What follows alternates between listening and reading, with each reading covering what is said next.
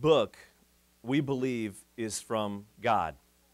And we believe that this book has authority over our lives. That, that when our thoughts are different from this book, that we need to repent, confess, and bring ourselves back in alignment with God's will. So the, the book is over us. Now, today, our culture that we live in, this country we love, is telling us that homosexuality is not a sin. In fact, even beyond that, we're, as a culture, we're, we're putting a stamp of approval on it. It's kind of a cool thing. And I've even seen parents, uh, when they believe they have a, a gay child, kind of take pride in that. I always knew my son was special, as it's, as it's something to revel in. If we go there, if we decide to do that, and, and if the Bible does indeed say that sex outside of marriage, including gay sex, is a sin, then what happens? This book is no longer our authority. This is very important. Brothers and sisters, uh, we need to think about this uh, deeply. And so today's uh, message is uh, Gay Marriage a Response. And I would like to thank Pastor John Hopler for the wealth of information he sent out this week on today's topic. According to a press release issued by the National Association of Evangelicals this last Wednesday, the Supreme Court ruled on two significant marriage cases on, on Wednesday, deeming Section 3 of the Defense of Marriage Act, that was DOMA, you've heard of that, which provided for the federal laws marriage refers to the union of one man and one woman. They decided that was unconstitutional and ruling that California's Proposition 8 defenders did not have legal standing. It was kind of an interesting thing. Uh, what they did was with DOMA was say that uh, when states decided to endorse gay marriage, and it, then the federal government had to recognize that. So that's an interesting issue because the federal government is federal law, the state is state law. However, they were allowing individual states to then dictate to the federal government how they would interpret marriage. So it's a bizarre situation now that if you're in a state that endorses gay marriage, you can get federal benefits. But if you're in a state that doesn't, you can't. Uh, it, so again, they were having state laws trump federal law, and, it, and it's not really been going that way in the past, uh, usually. And then the second thing they did with Proposition 8, which you've heard about out of California all the time, was that the government, the, the law was passed by the people and uh, uh, to define marriage uh, in a traditional way, and the, the, uh, the governor and the, the state decided not to enforce the law. And so nobody was there to enforce the law, so a coalition of, of uh, a collection of peoples got together and tried to take it to court, and the Supreme Court said basically you don't have the right to represent your state. So they didn't really decide one way or another, but the, the, the, rea- the result is that gay marriage will now go forward in, uh, in California by just ignoring the law that they themselves passed. Uh, so today I want to talk about, I want to respond to this massive cultural shift that we're seeing on the issue of homosexuality in our lifetimes, and actually just in the last really 10 years, uh, American culture has taken a big swing. In fact, some sociologists are saying that this is one of the most dynamic changes in moral opinion uh, in history. I probably like the 1960s and the sexual revolution. This is just a huge upheaval of the way our culture is uh, understanding homosexuality. And there's two reasons I want to talk about it. Uh, one is so that you know where our church stands. Uh, it's important because I know Christians say, well, but I've got family members that are gay. What am I supposed to do with that? And, and well, quick answer, love them. You know, that, that doesn't change. But people, people, uh, people often say, well, where does my church believe? What do we believe? And people can come to church and have good Christian people and say, well, I just want to love people, so I don't want to say it's wrong. Not understanding again that when we put our culture's definition of morality above this, then God is no longer our authority. So it's important that we talk about these things because good hearted, kind, wonderful Christian people, uh, maybe right here in our church, can sometimes uh, be thinking about this in a way that's not entirely biblical. So I want to run through that. The second reason is uh, I'm actually directing this uh, message towards the greater community, those out there, uh, those in Janesville. Uh, people want to know, well, what does your church believe? Where does your church stand? And a lot of times this is kind of a litmus test. In, well, if you accept gay people, well, then you're cool, you're in. And so I just want to be very, very honest as a church. And I would rather tell you straightforward what we believe, and you could say, oh, yeah, well, I don't believe that. And, and, and I'd rather have you just know it than kind of hedge it and, and be deceptive in some way and, and try to go around. That's not what we're all about. Here, I'm just going to tell you what we believe, and, and, uh, and I encourage you take it to God and, and pray about it.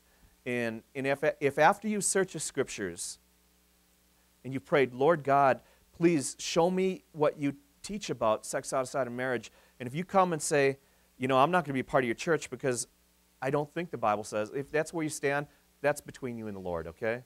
That's between you and God. But I just want to encourage you to be honest about it and to approach these scriptures and be prayerful and say, God, just teach me. I don't want to bring my culture's perception to scriptures. I want you to teach me your heart and your will. So, so please uh, just be honest with yourself, be honest with God, and deal with the scriptures as open mindedly uh, and directly as we can.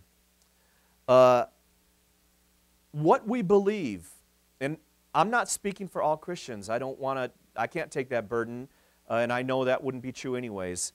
Uh, what we believe at Foundation Bible Church, what we've looked in here and what we believe to be true, uh, may be extraordinarily unpopular. Uh, we may be uh, what many modern people would say out of step with uh, the movement of history. Uh, well, Jesus, he didn't win any popularity contests either. And if your main goal of coming to church is so you can be in the in crowd and be popular, uh, well, you, you may be disappointed. One of the Supreme Court justices said, uh, he was talking about animus or, or hatred. He said, in effect, he said, in effect, that only hate would, would uh, the only reason somebody would oppose gay marriage is because of hate. Wow. Well, what is, I don't, you know, what do you do with that? I don't, that's quite an assumption. I mean, you're broad brushing an entire category of people and, uh, and denigrating other cultures, denigrating all of American history up to this point. Uh, in, and you search your heart and say, Lord God, am I being hateful? Because I don't want to. I want to love people. And you think, well, Lord God, I sure don't feel like I'm hating anybody. But a Supreme Court justice has said if you're opposed to gay marriage, it must be because of hatred. And I want you to think about that and remember that what kind of speech is illegal in the United States? Hate speech.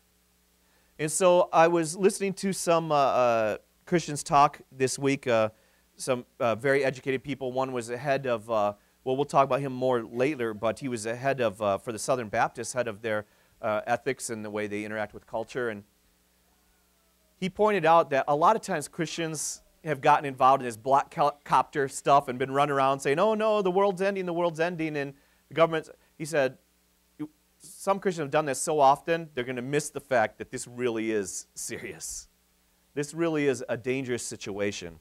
Uh, already, prior to these rulings, remember just recently, Catholic adoption agencies in Massachusetts had to go out of business they had been there to help children without mommies and daddies find loving parents.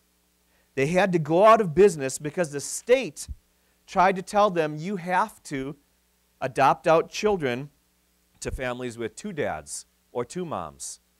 And they said, No, our faith, our conscience, what we believe deep down inside, we just we just think the best place for these children is with a mom and a dad that, you know, a traditional family uh, structure, and the state told them no, and so they went out of business. And there was another story. I mean, there's plenty of stories out there, but another story about a, a flower business that, that uh, they provide flowers to weddings, and they, they wanted to provide flowers to traditional weddings, and when they didn't provide it to a, to, a, to a gay couple, they got in trouble with the government because of that decision. Uh, so brothers and sisters, something bizarre has happened here. It's kind of weird. The right to have sex with a same sex partner is now trumping the constitutionally protected right to religious freedom. You might say, oh, come on, you're taking it too far. What do you mean? No, it's kind of weird. And I'm going to I'm going to walk you through this because the right to have sex with somebody of the same sex is not in the Constitution. The right to express our religious freedom is constitutionally mandated, and yet that freedom is now taken like a second class citizen. That's a lower kind of freedom than the right to uh, homosexual sex. Freedom of conscience, freedom to practice our faith as we see fit, is now a value below the right to homosexual activity. Think of it this way. I mean, it's a simple exercise. Think about this. Many, many people today live with people they love, but they don't enjoy the legal benefits of marriage. Well, that's not right. If, if they love each other, why shouldn't they? Well, wait, follow me. They live with people they love, but they don't have the legal benefits of marriage. For example, adult children with their parents. Long term relationship. They love each other. But the state doesn't give them the legal benefit of marriage because they're not married. Or how about a pair of old bachelors? Maybe brothers, maybe friends, just sharing an apartment together. Maybe they've been living together for 20, 30 years or an, uh, they don't have the benefit of marriage, or an old, I mean, let's, I mean, there's so many situations, an old neighbor that you've moved in with, you're taking care of them, an old teacher, a college teacher that was a mentor to you, and, and now in his old age, you're taking care of this person. You're living together, you love each other. All of these were intimate relationships. People living together, loving each other, all long term but they don't have the right to share insurance policies. They don't have the right to share medical benefits. They don't have the same legal standing as marriage. The difference, sex. The difference is sex. They aren't having it.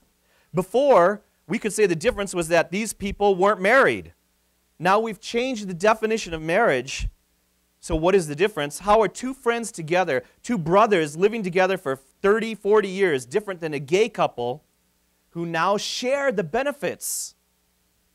Well, one is this, these people are engaged in homosexual sex, and this one they aren't. They're both together, they both love each other, they're both long term relationships. So, in a bizarre twist that past generations of Americans could never have predicted, the new right to have state sanctioned homosexual relationship has trumped, again, has already done so in many cases, freedom of conscience. Freedom, religious freedom. So, how should Christians respond? Well, we need to pray. On one level, the ruling actually changes nothing. Before the ruling, we just want to love people. And we just want to bring them close to Jesus Christ. After the ruling, boy, we just want to love people and we just want to bring them close to Jesus Christ. Win people's hearts for the Lord. Let them know that there's a good God. He died for their sins. The heaven's doors are wide open. And if we would just repent and say, Lord God, forgive, He is quick to forgive. Let's populate heaven. That was our job before and after this ruling. Then, you know, of course, we've been given, uh, we need to be wise stewards of our money. We need to be wise stewards of our vote. In this country, we're blessed with uh, political freedom. We need to exercise our freedoms and let our voices be heard. And, and here's something important not only for people who think like us, but to protect everybody's right to freedom of conscience, even if they disagree with us. And we, not, we want don't only want to protect Christian faith, but we want to protect Jews and Muslims and people of other faiths who feel that their religious freedom is being eroded in the face of this paradigm shift on uh, homosexuality. Government needs to enforce the Constitution, and it needs to protect the rights of the minority against the will of the majority, otherwise, the majority can, can become a tyranny. We have religious freedom. We, we need to hold on to that. It's precious. People don't know in the history of the world how rare freedom of conscience to speak and to pray and believe as you see fit. That's a rare, rare commodity. And once we lose it, it's hard to get back It took bloodshed to get it the first time. So hard to get freedom, so easy to lose it. And then how do you ever get it back? But there's something else we need to do, brothers and sisters, Christians. We've got a lot of repenting to do. We have to repent. I don't know if our culture has always seen Christianity at its best. I think our culture often sees us as this controlling force that wants to force other people to act and behave like we do, even though they don't believe what we do. We need to repent of that. I can, I can remember growing up, and this is to my shame, and I take no pleasure in this. I used words like queen and queer and, and gay and fag in, in such a way that they were hurtful. I used them as derogatory kind of cuss words. Uh, and it just hurts me now to think if somebody was struggling with their sexual identity, and I'm using this struggle and making light of it, and mocking and putting other people down, what a miserable person I am. I haven't done that for decades, and I'm ashamed that I ever did. Uh, we need to repent. We need to repent of making people feel like they're second class or unloved or rejected by the cross of Jesus Christ because they're struggling with sin. Hello, so am I. We need to repent when we hear on the news about violence against the gay community and we say, well, that's wrong, but we kind of give it a pass. It's not that bad. Violence against anybody.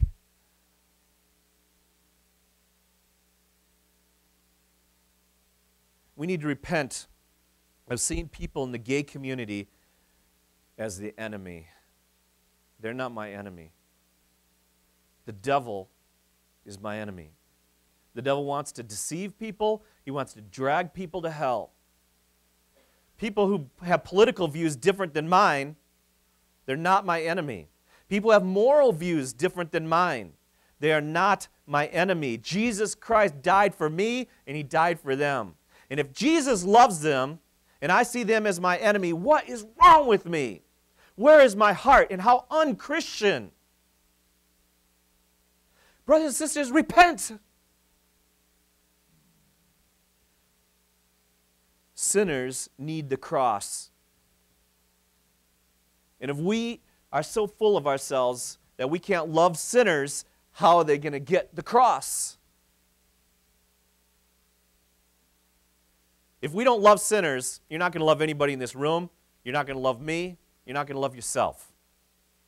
Jesus Christ died for his, the Bible says, enemies. Jesus Christ loves people who are opposed to him. And so should we.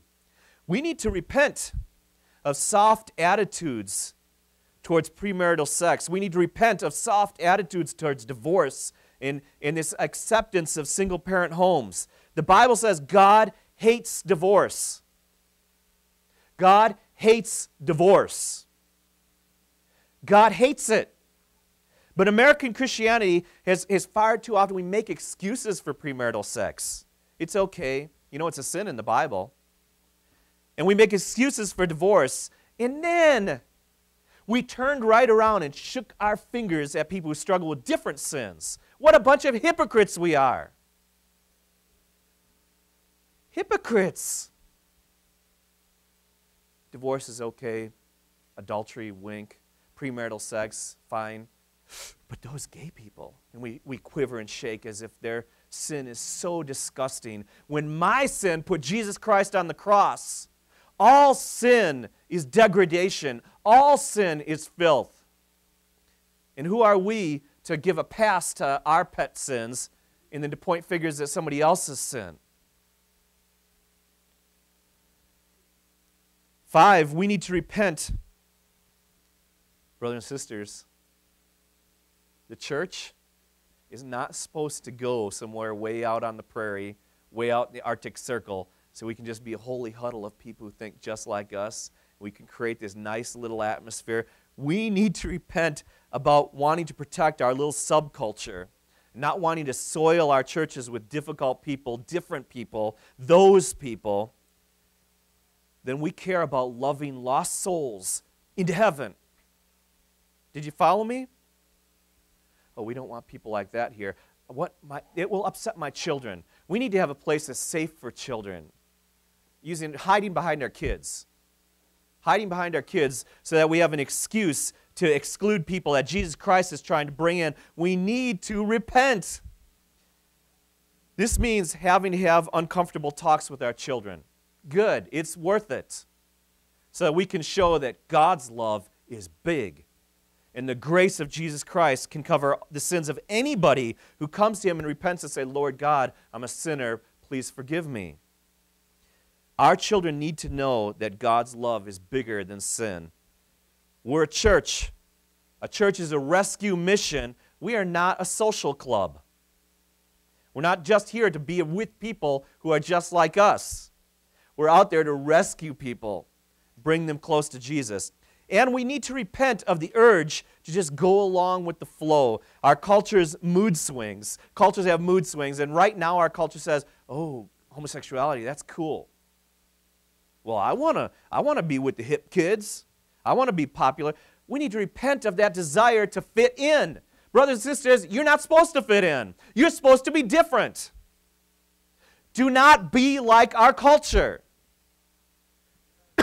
If the Bible says it's against the character of God, then it is sin, period.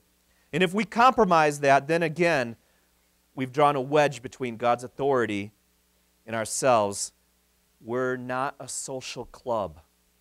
Again, we're church. We don't need to be cool. Thank goodness. We need to hold out the cross of Jesus Christ to a lost and dying world. Says, here's salvation, here's forgiveness of sins, Here's how you have peace with Christ. Get on your knees. Repent. Stop making excuses for your sin. Stop saying it's okay. It's not. If it was okay, Jesus would not have had to die. We don't want to go along with the flow. Bunch of lemmings jump off the cliff. We don't have to do it too. We need to repent. So, what have I done so far this morning? Well, if you're on a certain kind of mindset and you're on the far right somewhere and you're offended that Foundation Church wants to love and welcome everybody, even those guys, even people like that.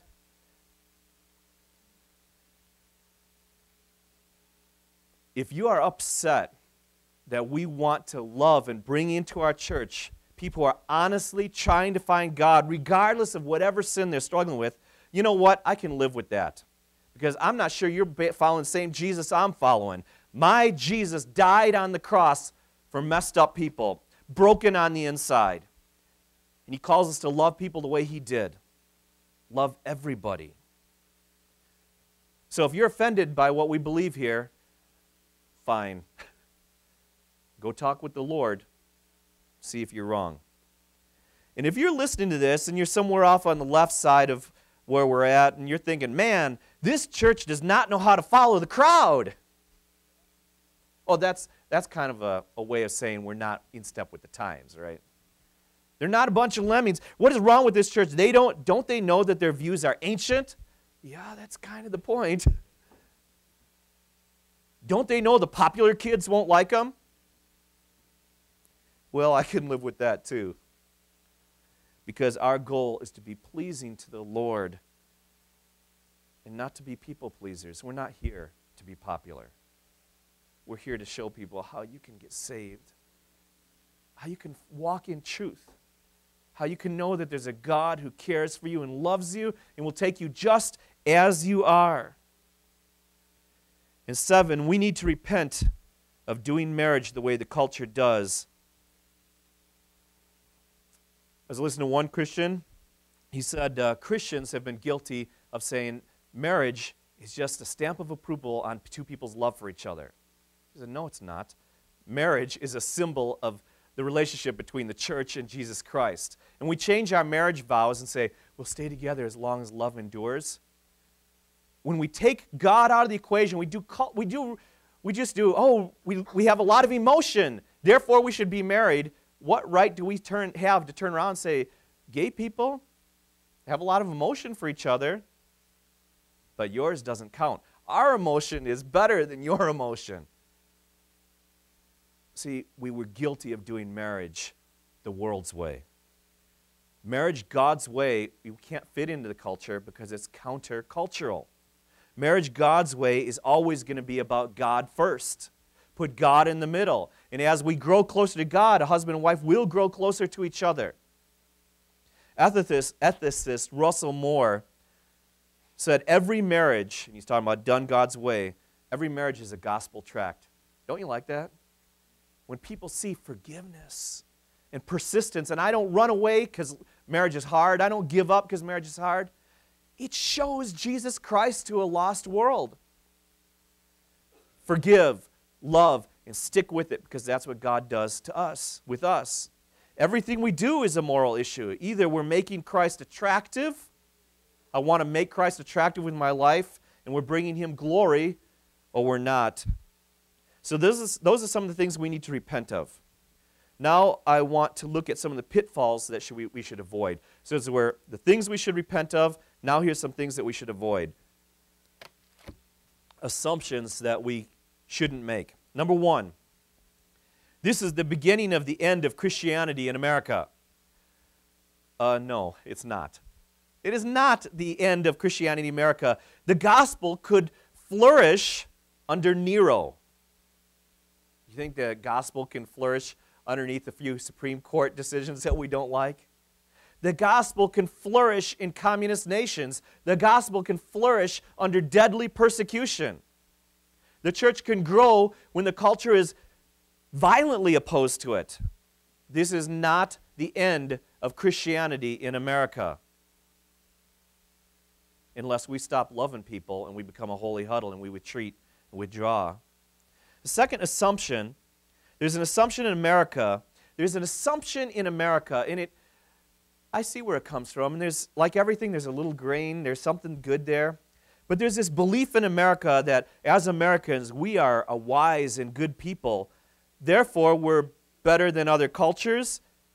And since we're growing in wisdom, apparently, we're better than previous cultures. Other cultures and previous generations thought that gay marriage was wrong, but we're smarter than them. see that? There's a basic assumption of superiority in our generation. Homosexuality, guess what? It didn't just start 10 years ago, it's been around since the fall, since the dawn of humanity. It, has been around in, in every human, it's been around all over the globe and in every culture. The ancient Greeks even praised homosexuality in some contexts, and they legally in, acknowledged and endorsed homosexual unions, especially between men and boys. But they never called it marriage. They, they knew it wasn't marriage. In fact, the vast majorities of cultures throughout the ages, the vast, we're talking above 99.9%, there's been no such thing as gay marriage. They, they recognize homosexuality. Many cultures saw it as a sin, some cultures didn't for periods of time. The Greeks struggled back and forth with it. Sometimes they called it the, the most filthy and horrible sin, and sometimes they elevated it. They were at war with themselves with that.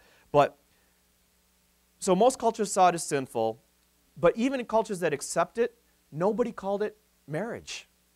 And now, in 10 years, we're smarter than all these other cultures. Our culture is better than all these previous generations. Leith Anderson, uh, president of the National Association of Evangelicals, who we were blessed to hear speak uh, last week, wrote that human history in every culture has defined marriage as the enduring and intimate relationship of a man and a woman. This definition has established the primary expression of family. True, different cultures and chapters of history have encouraged and endorsed varying expressions of marriage, but nothing like those in our generation who are proposing a redefinition of marriage. So, if, real quick, what does a redefinition mean? Well, people, uh, when I spoke at, where was it? Blackhawk? Was that Blackhawk or UROC? Blackhawk uh, in this forum where we were talking about homosexuality, some people say, Why are you denying the right for gay people to marry? And I said, I'm not. Because marriage means a husband and a wife, a man and a woman. I said, They don't want to marry. But see, now we've reframed the argument so we define marriage as any two people who want to be together. So uh, we've redefined what the term means. Leith then goes on to quote Jesus who explains Jesus who explained marriage himself by quoting the Old Testament, Genesis 2:24. Jesus said, "Haven't you heard? Don't, don't you guys know that at the beginning the Creator made them male and female. For this reason, a man will leave his father and mother and be united to his wife, and the two will become one flesh. So they're no longer two, but one. Therefore, what God has joined together, let not man separate. The institution of marriage didn't come from culture, it came from God. Human culture that has been around for thousands of years is now being swept aside rapidly. That's hubris. It's kind of kind of looks like arrogance. I'm not talking about Christianity. I'm talking about human culture. Thousands of years of human culture is being swept aside, and at the heart is this assumption that we're wiser than previous generations and we're better than other cultures. In fact, they are morally inferior to us because they're not endorsing gay marriage the way we are.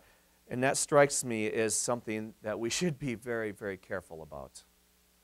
The Bible teaches us brothers and sisters, that we're not basically good. We're not innately a wise and good people. We're a fallen people. And the Bible also tells us that we should not be quick to change ancient boundary lines. They're there. Our forefathers set these lines down for a reason. The third assumption is that we're defined by our sexual orientation. People say, How can I say homosexuality is a sin? I'd be denying myself. And what are they doing? They're defining themselves by their sexual activity. We are not defined by our sexual orientation, not if there's a God. So you have to deal with that issue, you know, figure out yourself if there's a God or not. If there's a God, then our definition, our primary definition of who we are as people, if there's a God, then who you enjoy having sex with is not the most important thing about you. It's not what defines you. The most important thing about you is where you stand in relationship to God Almighty. Our identity is found in Jesus Christ, who loved us enough to die for us and said, Come unto me. Everybody who's weary and messed over and heavy. He says, And I will give you rest. And now my identity, I'm a forgiven person. My identity is I'm a child of the King. We don't define ourselves by, by uh, who am I? I'm, uh, I'm, I mean, you may, we all may be greedy. We all may be drunkards. I'm not saying we are. But, uh, but we don't define ourselves by that. We define ourselves by our relationship to Jesus Christ. Uh, Galatians 3, uh, 26 through 29, you are all sons of God. You are all sons of God through faith in Jesus Christ. For all of you, all of you who were baptized into Christ, have clothed yourselves with Christ. We're putting on Christ. Christ, his character covers us. There is neither Jew nor Greek. There is neither slave nor free man. There is neither male nor female. For you are all one in Christ. Did you hear that? So I want to plead with you don't define yourself by your sexual orientation, what you perceive to be your sexual orientation, especially if this Bible is true. In sex outside of marriage, homosexual sex included, is a sin, then defining yourself by your sin would be a great tragedy.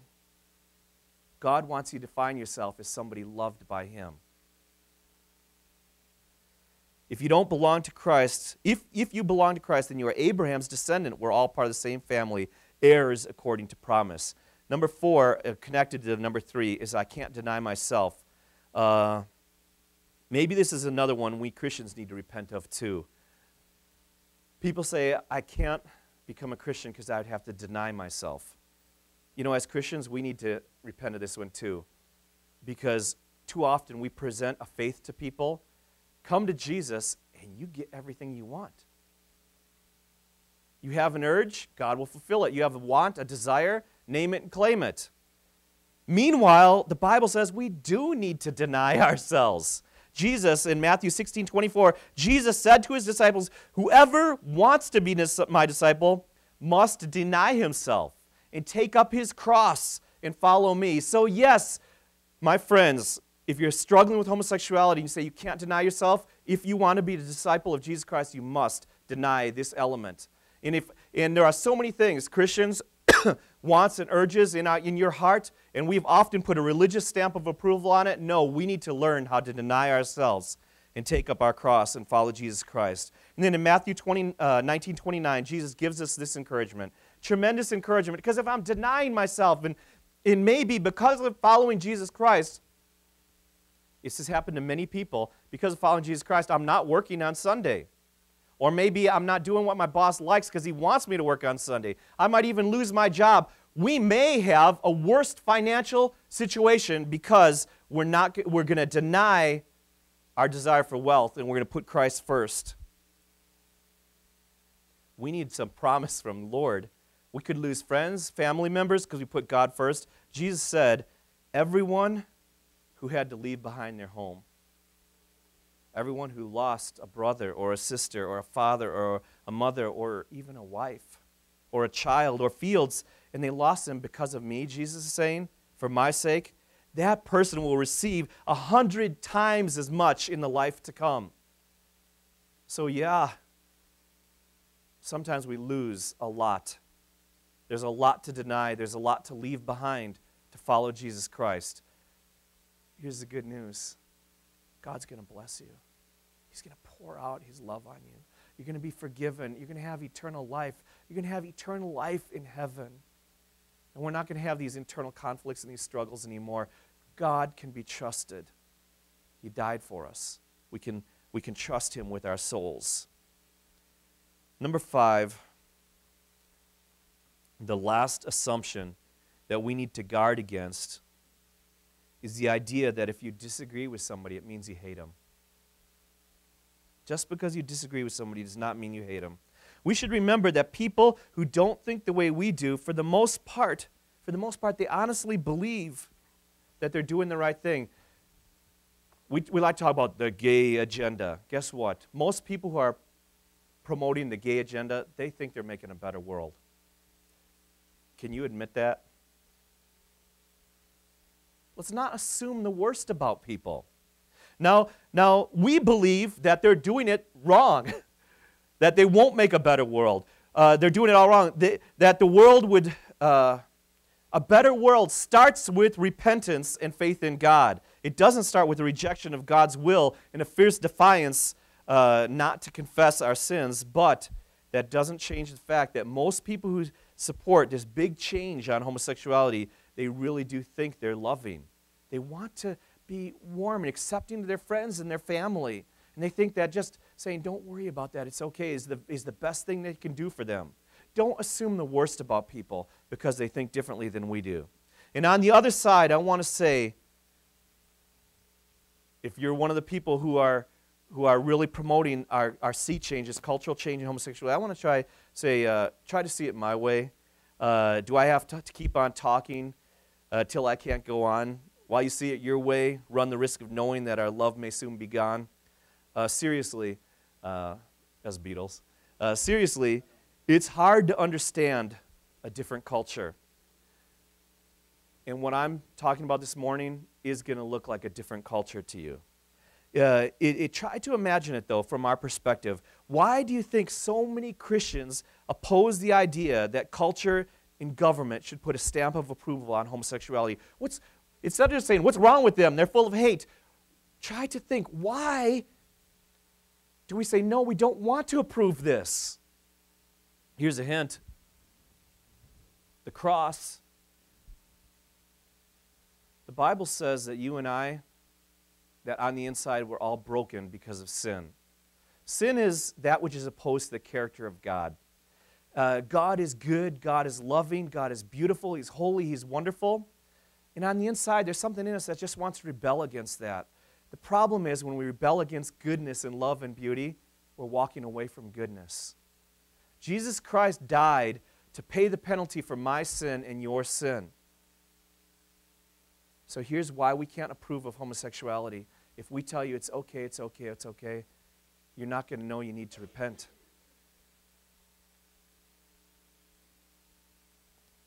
And you could miss out on heaven. It's hard to understand where other people are coming from, but I hope, even if you disagree with me, I hope you can see that for God, I want to love you. I want to love people. And we believe that God is quick to forgive and He will forgive if we would come to Him in faith. See, I often hear people on the other side of this issue from me. They accuse people like me of being hateful. In fact, remember uh, years ago, there was a, a letter in the Gazette. I shared with you this before. Uh, Pastor Dan hates people because of my position that homosexuality is a sin. There, it's right there for the whole city. Pastor Dan hates people. And, and a columnist in, in the Gazette, what am I supposed to do with that? I, I prayed, God, I, I don't think I'm hating anybody. Uh, but God, if I am, please reveal it to me. And recently, a columnist in the Gazette uh, said that he believes that people like me, he's an intelligent man, he has his own nationally syndicated column, some ways a brilliant man. He said that people like me want to round up the gay community and exile them, put them behind big, community, uh, big walls and leave them to die. And I read that and I thought, no, no. The exact opposite is true. Please listen. If you consider yourself gay or, or you're, you're an ally of, of, of your homosexual friends, I need you to hear this. I want, I want to spend eternity with you. I don't want to round you up and separate you. I want you to be in heaven with me. We want you to be with us. We don't want to exile you. And when I say we, and again, I can't speak for all Christians, I'm just speaking for our group here. I mean sinners. We mean sinners who have found grace through Jesus Christ, our Savior. He died for us and He died for your sins too. And we can be one family. We can be one family for eternity we're, because we're united at the foot of the cross. We're each bowing and confessing how messed up we are, how selfish, how greedy, how hard headed, how you know, self righteous, full of lust, and all these nasty things inside of us. And yet we all come before the cross and say, God, you're so good to forgive us. Thank you. And we love you and we want to be more like you and we want to live your way. Please give us your truth and your love. My prayer is that you will know the deep love of God, a love of God that is so consuming, there's no longer all this fears and doubts and worries in the inside, that you can let it all go and just luxuriate and bathe in the grace of God. That is my prayer for you. It's not that you be exiled. Those of you who have felt rejected, you felt rejected by the culture, you felt unloved by Christians, or you were part of a church maybe that, that couldn't accept you, because of how you feel oriented sexually, I want to invite you to Foundation Bible Church. We would love to have you. We would love to have you. Paraphrasing Russell Moore, the ethicist again, if you're struggling with your sexual identity, I want you to know you're not a freak. You're not unwanted. God hasn't turned his back on you. Jesus loves you. He died for my sins and yours. I want you to know something else. Again, if you're consider yourself gay or a champion and ally of the gay community, I'm a sinner. I need forgiveness. I need the grace of God. And so are you. And you don't get a pass on your sin. I have to repent of my sin, and you need to repent of your sin. You don't get a pass because popular culture says it's okay. What matters is not what popular culture says, it matters what God says, if indeed there's a God. If there's a heaven and there's a hell, we better get right with God. Your sin is not special. We all fall short of God. We all need that grace. just because people are applauding, just because culture is approving, doesn't mean a thing. It matters what God has to say. If you want peace, if you want peace with God, if any of us want peace with God, we have to stop defending ourselves and agree with Him about our lives. The Bible tells us, this is beautiful, times of refreshing blow into our weary souls when we just say, God, I'm wrong. I'm not going to defend myself anymore. I'm not going to fight with you anymore. Lord God, I confess my sin. Let your, let your love blow into my heart. I hope that everyone hearing this message today will know the joy of being forgiven. It's a good thing to know you're messed up and nasty, and then to know that God loves you. And He's going to hold you to His side, and He's not going to divorce His children. He's not going to turn His back to you to know that you are forgiven completely. I hope you can know that joy. And we first, to receive forgiveness, we first have to know that we need to be forgiven. Amen? And I pray that you will know that joy. Peace comes when we stop fighting with God. We let Him come into our lives. We let God come in, and we let God teach us a new way of living because His ways are better than our ways. His, his ways are always going to be better than our ways. And it's better than what our culture says, too. Don't fall for the lie. The devil wants to separate you from the authority of God. The devil wants you to be approved by culture and end up separated from holy God. We need to fall on our knees before God and just ask for forgiveness. Let's pray. And I, I, invite you all to pray with me now. Those watching on the internet or on television too, please just pray with me now a short prayer so we can get right with the Lord. Let's pray. Dear Lord God, we all come to you with different sins. Lord, we all fall short. We don't want to compare ourselves to others and feel superior or self righteous or better than other people. Lord, we just see ourselves and we know we need your love. We need your forgiveness. So we want to say, God, thank you for Jesus Christ coming to, to earth to reach down into this muck and this mire, to grab a hold of us and lift us out, to die, to pay the penalty of all the nasty things we've said or thought or done. Completely paid, 100% paid on the cross. Lord, thank you for the cross.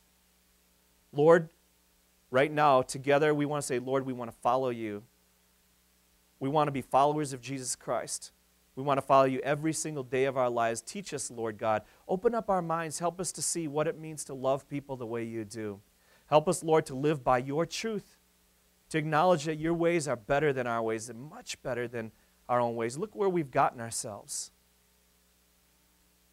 And Lord, we just want to say thank you for loving us, even when we didn't want to love you, even when we want to turn our back on you.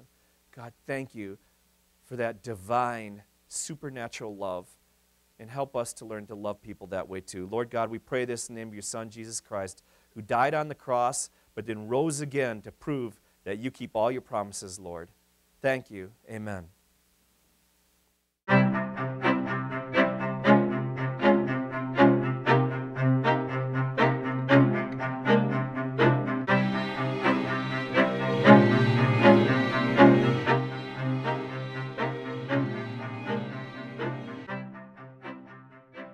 Foundation Bible Church, inconveniently located two blocks northwest of the Janesville Athletic Club.